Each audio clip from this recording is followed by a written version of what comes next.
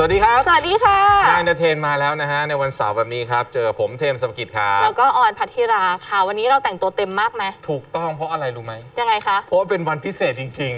ๆนี่ถือว่าเป็นความภาคภูมิใจนะฮะของคนที่ทำงานด้านวิทยุแล้วก็โทรทัศน์นะครับ เพราะว่าสมาคมสมาพันธ์วิชาชีพวิทยุกระจายเสียง และวิทยุโทรทัศน์นะฮะจะจัดงานประกาศรางวัลงานค่ะ นาตราชครั้งที่ 12 นะฮะซึ่งเขาจะถ่ายทอดสดนะครับ นะฮะในช่วงเย็นวันนี้อืฮะมค่ะ ซึ่งในจำนวน 39 สาขารางวัลนะคะ เชื่อเลยค่ะว่าหลายๆคนเนี่ยให้ความสนใจนะกับสาขาด้านของละครโทรทัศน์กันเป็นอย่างมาก ถูกต้อง ดังนั้นวันนี้นะคะ เราก็เลยคัดมาให้แล้วเนื้อเนื้อๆเน้นเน้นๆวิเคราะห์มาให้ชัดๆเลยค่ะ ว่ามีใครเข้าชิงบ้าง และใครเป็นตัวเต็งนอนมาในปีนี้ค่ะราง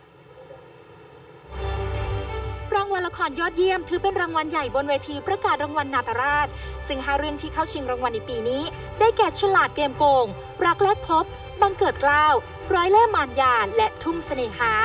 ซึ่งสองในห้าเรื่องเป็นแนว period แต่ต่างรสชาติ โดยรักแรกพบของบริษัท One 31 และ JSL Global Media ที่หนุ่มฟิล์มธนพัฒน์รับบทหนุ่มต่างยุค ประกบสองนางเอกวิววรรณรสและใบเฟิร์นอัญชสาเป็นแนว romantic comedy เรื่องราวความรักของหนุ่มสาวที่พลัดหลงไปต่างยุคต่างสมัยส่วนทุ่งเสน่หาเป็นแนว period ดราม่าเรื่องราวความรักต่างชนชั้นของหนุ่มสาวบ้านทุ่งนำแสดงโดยเต้ยจรินพรและท็อปจรน ซึ่งด้วยความละเมียดละไมในด้านต่างๆทำให้ถูกเสนอชื่อเข้าชิงถึง 9 รางวัล จากทั้งหมด 14 สาขา เช่นเดียวกับฉลาดเกมโกงของ GDH 559 จากภาพยนตร์ร้อยล้านถูกนำมาสร้างใหม่ลงจอแก้วถ่ายทอดเรื่องราวการโกงของนักเรียนระดับหัวกะทิ ซึ่งเป็นที่น่าจับตา เพราะมีแต่ทัพนักแสดงวัยรุ่นมาถ่ายทอดเกมกลโกง ไม่ว่าจะเป็นเจ้านายจินเจษฎ์ จูเน่เพลินพิชยาและไอซ์พาริส ซึ่งความกระชับเข้มข้นของซีรีส์เรื่องนี้ ส่งให้ถูกเสนอชื่อเข้าชิงถึง 9 รางวัลในหมวดละครโทรทัศน์เช่นกัน ครูรักศรัทธาศรัทธาทิพย์ผู้เป็นทั้งเบื้องหน้าและเบื้องหลังของวงการบันเทิงไทยมานานร่วม 30 ปี ยอมรับว่า ฉลาดเกมโกงเป็นอีกเรื่องที่น่าจับตา เพราะพล็อตแปลกใหม่สร้างมิติที่หลากหลายให้กับวงการละครไทยค่ะ ก็จะมีความมีความสดใหม่ ความแปลกแหวกแนวผมว่าก็เป็นเรื่องหนึ่งที่มีความ มีความน่าสนใจ ผมมองว่าด้วยด้วยด้วยไอเดียด้วยแนวคิดอะผมว่าเขาแข็งแรงฝั่งบังเกิดกล้าวของอมรินเทเลวิชันก็ได้ทับนักแสดงรุ่นใหญ่ไม่ว่าจะเป็นหนุ่มสอนรามบอกปิยธิดา รวมถึงรุ่นเดอะอย่างตุ๊กยานี มาวาดลวดลายปะทะคารม สะท้อนปัญหาสังคมครอบครัว โดยมีเรื่องราวความรักของแม่และลูกเป็นแก่นสำคัญ และอีกเรื่องที่น่าจับตากับละครแนวโรแมนติกดราม่า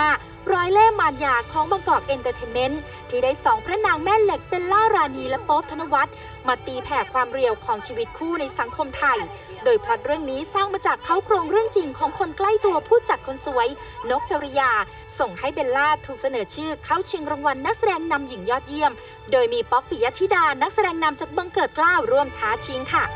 แต่อีก3นางเอกที่มีชื่อท้าชนไม่ว่าจะเป็นกบสุวนันท์ที่พลิก character มารับบทผู้กำกับสาวเก่งแต่ขี้วีนในอุ้มรักเกมลวง รวมถึงรุ่นใหญ่หน่อยบุษกรที่หวนคืนจอในรอบ 12 ปี กับบทคุณแม่ใจเด็ดในทุ่งเสน่หา และแต้วณฐพรที่รับบทตัวละครถึง 3 ตัวต่างยุคต่างสมัย ในเล่ห์บรรพกาลทั้งชื่อชั้นฝีไม้ลายมือและความทุ่มเทในบทบาททำให้รางวัลนี้เป็นที่น่าจับตามากเลยทีเดียวค่ะ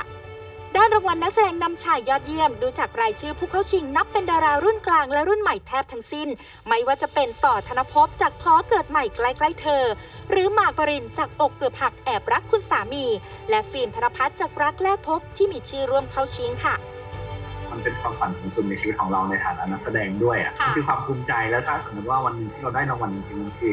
มันคือกำลังใจในการที่แบบเราอยากทำผลงานดีๆ ออกมาให้ผู้ชมได้ชมกันต่อไปอะครับ แต่ว่า ไม่ว่าใครจะได้นะครับ ผมก็ไม่รู้สึกเสียใจนะถ้าผมไม่ได้ ถ้าถ้าคนเป็นคนอื่นที่ได้รางในรางวัลนี้ไปในปีเนี้ยครับ ผมก็ไม่รู้สึกเสียใจเลย เพราะว่าทุกคนตั้งใจทำงานของตัวเองออกมาอย่างเต็มที่แต่มาเมื่อที่เพิ่งจะลงจอรับการแสดงครั้งแรกก็ถูกเสนอชื่อเข้าชิงรางวัลใหญ่ อย่างเจ้านายจินเจต จากบทเด็กอัจฉริยะเรียนเก่งแต่หลงเดินทางผิดในซีรีส์ฉลาดเกมโกงก็น่าจับตาไม่แพ้กันค่ะ ส่วนรุ่นใหญ่ที่เข้าชิงนักแสดงนำชายด้วย ก็อย่างเช่นหนุ่มซ้อนรามจากเบังเกิดกล้าว ก็ประมาทฝีมือไม่ได้เช่นกัน ซึ่งโผผู้เข้าชิงนักแสดงนำชายและหญิงครูรักก็มองว่า เป็นการเชื่อเชือนที่น่าสนใจ เพราะทุกคนล้วนขึ้นชื่อเรื่องคุณภาพ ต่อให้เป็นนักแสดงป้ายแดง แต่เทคนิคการแสดงฝีไม้ลายมือที่โดดเด่น ก็ไม่แปลกที่จะได้มาลุ้นในรอบสุดท้ายค่ะ อายุไม่เกี่ยว เข้าวงการมานาน หรือเข้ามาแป๊บเดียวไม่เกี่ยว แต่ว่าถ้าคุณภาพหรือพัฒนาการเขาเด่นชัดเขาเล่นแล้วเราสร้างความเชื่อได้ ผมว่ามันก็ถึงเวลาของเขา ขณะที่นักแสดงสมทบหญิงยอดเยี่ยมก็เรียกว่าขับเคี่ยวไม่แพ้รางวัลไหนๆ เพราะเป็นการประชันกันระหว่างตุ๊กยานี ในบทแม่ที่รักลูกแบบผิดๆ จากบังเกิดกล้าว และแหม่มคัทลียาจากวันเยียร์365 วันบ้านฉันบ้านเธอ รวมถึงรุ่นกลางอย่างยุ้ยจิรนันจากตะวันอาบดาว และวาวานิชาที่พลิกมาเล่นร้ายครั้งแรกก็ปังสุด กับบทสาวแอปเรียบร้อยที่พร้อมจะแย่งสามีพี่สาวตนเอง ในรอยเล่มารยาค่ะ ส่วนรุ่นเล็กอย่างนาน่าสวรรค์ยาจากสาวใสๆที่ต้องมารับบทเครียดท้าทายอารมณ์ในฉลาดเกมโกง ก็ฝ่าด่านรุ่นพี่มีชื่อเข้าชิงด้วยเช่นกันสำหรับรางวัลนักแสดงสมทบชายยอดเยี่ยม นอนมาเต็งหนึ่งคือดอมเหตระกูล ที่ฉีกแนวมารับบทชายรักชายแต่อยากมีทายาทในอุ้มรักเกมหลวง ที่เนียนซะจนคว้ารางวัลจากเวทีอื่นๆ ไปครองมาบ้างแล้ว แต่ก็ไม่สามารถประมาทฝีมือของดูสัญญาจากวันเยียร์365 วันบ้านฉันบ้านเธอ รวมถึงไผ่พงศธรในละครดราม่าสู้ชีวิตมงกุฎดอกหญ้า และบอมธนินที่สลัดคราบพระเอกโรบอทมาสวมบทสุดท้าทายในทุ่งเสน่หา จนได้รับคำชมอย่างล้นหลาม รวมถึงรุ่นเล็กอย่างไอซ์พาริสจากฉลาดเกมโกง ที่แม้ประสบการณ์และชื่อชั้นจะยังไม่เทียบเท่าผู้ท้าชิงคนอื่น ๆแต่ความไหลลื่นในบทลูกเศรษฐีที่ใช้เงินในการแก้ปัญหา ก็อาจส่งให้ไอซ์สามารถแซงทางโค้งคว้ารางวัลนี้ไปครองได้เช่นกัน โอ้โหโอ้สุดคือมันอย่างเงี้ยขับเคี่ยวกันอย่างเงี้ยคือดีใจมากที่ไม่เป็นคณะกรรมการ เพราะว่าตัดสินใจยากมากเลยอะ ๆนะฮะอะรอติดตามถ่ายทอดสดนะครับเย็นนี้ด้วยแล้วกันนะฮะนอกจากละครโทรทัศน์แล้วนะครับในยุคนี้เนี่ยที่ได้รับความนิยมคือละครออนไลน์ อาจริง ถูกไหมนะฮะดังนั้นเนี่ยเวทีนาตาลาดนะครับ จึงพิจารณามอบรางวัลให้กับละครแล้วก็ซีรีส์ออนไลน์อีกด้วยนะครับ เอาดูซิว่าใครเข้าชิงกันบ้างครับ รางวัลนาฏราชครั้งที่ 12 สมาพันธ์สมาคมวิทยุกระจายเสียงและวิทยุโทรทัศน์ เพิ่มรางวัลประเภทละครและซีรีส์แพลตฟอร์มออนไลน์ทั้งสิ้น 5 รางวัล โดยซีรีส์แปลรักฉันด้วยใจเธอ มีลุ้น 4 รางวัล ทั้งละครและซีรีส์ยอดเยี่ยม บท original ละครและซีรีส์ยอดเยี่ยม drama series of the year ส่วนพีพีกฤษฏ์และบิวกิ้นพุทธิพงศ์ยังเข้าชิงรางวัลนักแสดงนำชายยอดเยี่ยมเหมือนกันอีกด้วย ซึ่งทั้งคู่เปิดใจว่าแม้จะชิงรางวัลเดียวกัน แต่ก็พร้อมสนับสนุนกัน และการที่ผลงานเรื่องนี้มีชื่อเข้าชิงรางวัลในสาขาต่างๆ ก็ถือเป็นผลงานของทีมงานทุกคนที่ทำร่วมกันค่ะ ที่จริงพี่มองว่ารางวัลนี้ไม่ ไม่ไม่ได้ให้มาสำหรับพี่คนเดียวเลยพี่รู้สึกว่ามันเป็นรางวัลของทีมงานทุกคนมากกว่า ที่ร่วมกันทำโปรเจกต์แปลรักฉันไม่ใจเธอ การที่เราแสดงดีได้มันก็รวมถึงการที่เรามีผู้กำกับที่ดี มีการเขียนบทที่ดี มีการบรรยากาศในกองที่ดี มีทุกๆคนที่คอยช่วยเรา support เราตลอดเหมือนกันเรารู้สึกว่าอย่างที่บอกคือเราทำงานกันเป็นทีม วันหนึ่งที่เราประสบความสำเร็จผมรู้สึกว่ารางวัลนี้มันคือรางวัลของทุกคน แต่ว่าในมุมของนักแสดงเราเป็นตัวแทนมารับเท่านั้นเองสำหรับผม สำหรับผมกับพีพีเราเราชิงรางวัลเดียวกัน แต่ว่าสำหรับผมคือ ผมรู้สึกว่าถ้าพีพีได้ ผมก็รู้สึกว่า ผมก็เป็นส่วนหนึ่งในนั้นเหมือนกัน เราเหมือนเป็นเป็นเป็นทีมเดียวกันที่ชนะสิ่งนี้ไปด้วยกันสำหรับพีสิ่งที่ได้รับกลับมาจากซีรีส์แปลรักฉันเนี่ยมันมันเกินความคาดหมายพีไปไกลมากเลย แล้วมันมันเป็นประสบการณ์ที่ดี มันเป็นความทรงจำที่ดีๆหลายๆอย่างในชีวิตพีไปอีกอย่างครับ ส่วนนางเอกสาวแพนเค้กเขมมนิดที่ฝากฝีมือไว้ในเรื่องมาเตอร์ เรียกฉันว่าแม่ ได้เข้าชิงในสาขานักแสดงนำหญิงยอดเยี่ยมเผยว่าดีใจมากเมื่อผลงานที่ตนทุ่มเทเข้าชิงรางวัล เพราะเป็นบทบาทที่ท้าทายในการทำงานเรื่องหนึ่ง แถมละครเรื่องนี้ยังเข้าชิงรางวัลละครและซีรีส์ยอดเยี่ยม บท original ละครและซีรีส์ยอดเยี่ยมอีกด้วยละค่ะต้องบอกว่าดีใจมาก ๆ ค่ะ แล้วก็ขอบคุณมากจริง ๆสำหรับโอกาสในครั้งนี้ค่ะ มันเป็นกำลังใจค่ะสำหรับคนทำงานจริง ๆนะคะ แล้วก็ต้องบอกเป็นเรื่องที่ประทับใจมาก มันเป็นเป็นซีรีส์เพื่อสังคมเพื่อครอบครัวนะคะสำหรับเราในฐานะนักแสดงมันก็เป็นชิ้นงานที่น่าสนใจมาก แล้วก็ท้าทายมากด้วยเช่นกันค่ะ แล้วก็มีหลากหลายความรู้สึกที่เราก็ต้องทำความเข้าใจ แล้วก็แต่เล่นกับน้องมากิคือรู้สึกว่าน้องเก่งมาก น้องเป็นมืออาชีพมากจริง ๆ ค่ะทำให้เราเรียกว่า เข้าใจในความรู้สึกตรงนั้นได้อย่างได้อย่างรวดเร็วนะคะ ก็ทำงานกันแบบ Dream Team ค่ะ ที่เบียดกันมาเพราะเข้าชิง 3 รางวัลเหมือนกันก็คือ After Dark The Series อาทิตย์อัศดง โดยมีเจนรมิดา มีชื่อเข้าชิงในสาขานักแสดงนำหญิงยอดเยี่ยมด้วย และที่น่าจับตามองก็คือ Voice in the Rain เสียงรักในสายฝน ที่มีชื่อเข้าชิงรางวัลทุกประเภท ทั้งละครและซีรีส์ยอดเยี่ยม บท original ละครและซีรีส์ยอดเยี่ยม รางวัลนักแสดงนำชายและนำหญิงยอดเยี่ยม หลินมัชนดและณนภัทรรวมถึงรางวัลดราม่าซีรีส์ of the year ด้วยซึ่งละครเรื่องเสียดายก็ยังมีลุ้นในรางวัลนี้ด้วย พร้อมกับเข้าชิงรางวัลละครและซีรีส์ยอดเยี่ยมค่ะ โดยการตัดสินรางวัลนาตราชนั้น ผ่านการลงคะแนนของคนในแวดวงวิทยุและโทรทัศน์ มีเพียงรางวัลดราม่าซีรีส์ of the year รางวัลเดียวที่เปิดให้บุคคลทั่วไปได้ร่วมโหวตลงคะแนน ซึ่งมี 3 เรื่องที่เข้าชิงรางวัลในปีนี้ค่ะ สำหรับรางวัลนาตาราชในปีนี้นะคะ ก็ทาง m c o t HD ของเราเนี่ย ได้เข้าชิงถึง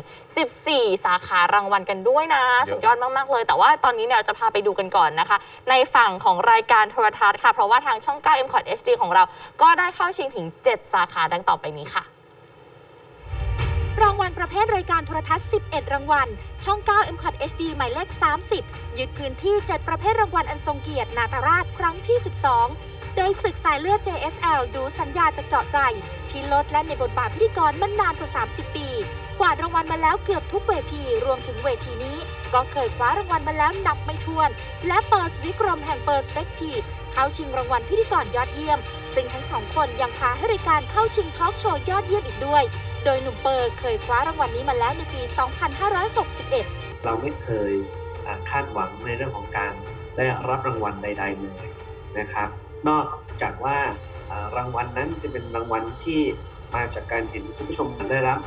คอนเทนต์เนื้อหาสาระดีๆ และทำให้เขานั้นประสบความสำเร็จมีชีวิตที่ดีมากยิ่งขึ้นเปลี่ยนแปลงไปยิ่งขึ้น อันนั้นเป็นจุดประสงค์หลักของรายการนะครับ และถ้ามันเป็นแบบนั้น เราทุกคนจะมีความภาคภูมิใจ แล้วก็มีความยินดีเป็นอย่างมากรายการยอดฮิตศักดิ์สิทธิ์คงกระพันติดโพรางวัลวาไรตี้ยอดเยี่ยม ขณะที่รายการน้ำดีคนค้นคน ไม่พลาดเข้าชิงรางวัลสารคดียอดเยี่ยม ส่วนสำนักข่าวไทยยังไว้ลายเข้าชิงรางวัลสกู๊ปข่าวยอดเยี่ยม จากสกู๊ปเปิดประสบการณ์ชีวิตช่วงวิกฤตโควิด -19 และการทำงานบนเส้นทางสื่อมวลชนมามากกว่า 15 ปีของวรรณศิริสิริวัลยังสามารถทำให้ทะลุเข้าชิงรางวัลผู้ประกาศข่าวหญิงยอดเยี่ยม เป็นปีที่ 2 อีกด้วยค่ะ ต้องมีสมาธิต้องมีสิ่งที่เตือนสติตัวเองมากขึ้นว่า อย่างน้อยคนเขาไว้ใจเราอะ เราต้องไม่ทำให้ให้สังคมหรือให้คนที่เขาไว้ใจเราเนี่ยผิดหวังถึงจุดหนึ่งแล้วเนี่ยการยอมรับหรือความเชื่อมั่น ความน่าเชื่อถือเนี่ยสำคัญที่สุดศึกสายเลือดพี่น้องหลังคาเดียวกันยังรายการขวัญใจชาวบ้าน เรื่องครบค่ำและข่าวบันเทิงสุดแซ่บตกมันบันเทิง ก็เข้ารอบลุ้นชิงดำจากรางวัลรายการเล่าข่าวยอดเยี่ยม การทำงานตรงนี้ 7 ปีเนี่ยมัน คือเราได้เรียนรู้เราได้พัฒนาเราได้ปรับปรุงหลายๆอย่าง จนกระทั่งเป็นที่ยอมรับนะคะแล้วก็ประชาชนทุกคนเวลาเดินไปไหนเขาก็บอกตกมันบันเทิงตกมันบันเทิงอะไรอย่างเงี้ยค่ะ จนเป็นที่รู้จักดีใจค่ะ แต่ว่าทั้งนี้ทั้งนั้นเนี่ยก็ขึ้นอยู่กับพวกเราทั้งหมดด้วยทีมงานต่างๆ ที่แบบว่านักข่งนักข่าวของเราก็คือสุดยอดมากๆจะได้หรือไม่ได้แค่มีชื่อเข้าชิงถือว่าได้รับเกียรติแล้ว เพราะว่าเป็นการที่ได้โหวตจากคนในวงการบันเทิงด้วยกันจริง ๆ ก็ถือว่ากำลังใจครั้งเนี้ยค่ะ จะทำให้พวกเราเนี่ยต่อยอดและพัฒนาต่อไปเรื่อยๆ ให้คุณผู้ชมเนี่ยที่ดูรายการตกมันบันเทิงของเรา มีความสุขตลอดไปแน่นอน คือตื่นเต้นตั้งแต่วันแรกที่รู้ว่าเฮ้ยรายการเราได้เข้าจริงด้วยเหรอรายการเล็กๆ อย่างนั้นเหรอถึงจะได้ไม่ได้ยังไงนะคะ ก็ดีใจกับเพื่อนเพื่อนพ้องในวงการสื่อนะคะ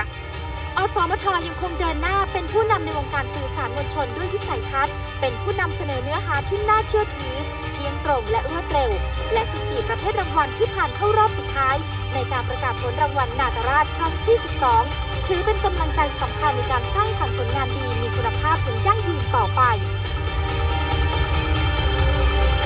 ช่วงนี้เนี่ยต้องมาดูฝั่งวิทยุกันบ้างนะคะ ซึ่งทางอสมทของเราทุกคลื่น ก็มีความหลากหลายของรายการค่ะที่ให้ทั้งสาระความรู้แล้วก็ความบันเทิงนะคะ ไปดูกันค่ะว่ามีคลื่นไหนและรายการอะไรที่ได้เข้าชิงกันบ้างในปีนี้ค่ะ ผลงานด้านวิทยุของอสมทมีทั้งสิ้น 7 รางวัล ที่อสมทยึดพื้นที่เข้ารอบสุดท้ายทุกประเภทรางวัล ไม่ว่าจะเป็นรางวัลสถานีข่าวและสาระยอดเยี่ยม m c o t News FM 100.5 และ FM 99 Active Radio เข้าป้ายชิงกันเอง ส่วนคลื่นลูกทุ่งมหานคร LTM FM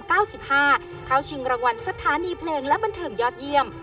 และรายการลูกทุ่งมหานคร LTM FM 95 ยังพ่วงเข้าชิงรางวัลรายการเพลงและบันเทิงยอดเยี่ยมอีกด้วยค่ะ ขณะที่วาสุเลิศจัญญาจาก FM 95 เข้าชิงรางวัลผู้จัดรายการเพลงและบันเทิงยอดเยี่ยม งานนี้เจ้าตัวก็รู้สึกดีใจที่คลื่นลูกทุ่งมหานครครองใจคุณผู้ฟังอันดับหนึ่งมายาวนานถึง 17 ปี ได้เข้าชิงถึง 3 รางวัล พร้อมยืนหยัดจะสร้างความสุขตอบแทนสังคมอยู่ข้างผู้ฟังตลอดไปค่ะ ปีนี้ก็เป็นอีกปีหนึ่งที่ก็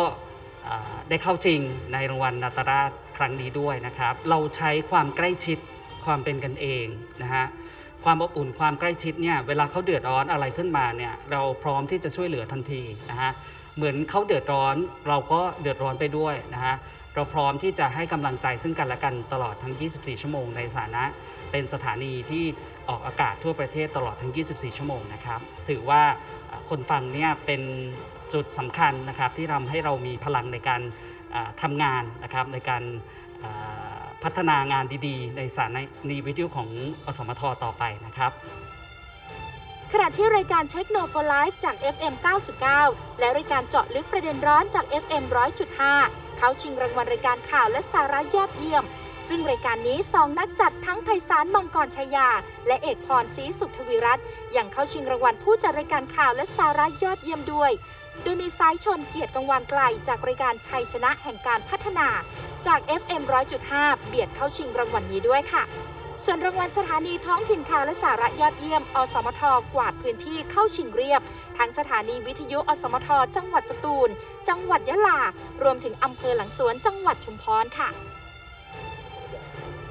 แหมหมดเวลาแล้วครับคุณผู้ชมฮะเดี๋ยววันพรุ่งนี้นะครับมาเช็คผลรางวัลนาตาลาดนะฮะครั้งที่ 12 ได้ที่รายการนายเดเทน11 นาฬิกานะครับ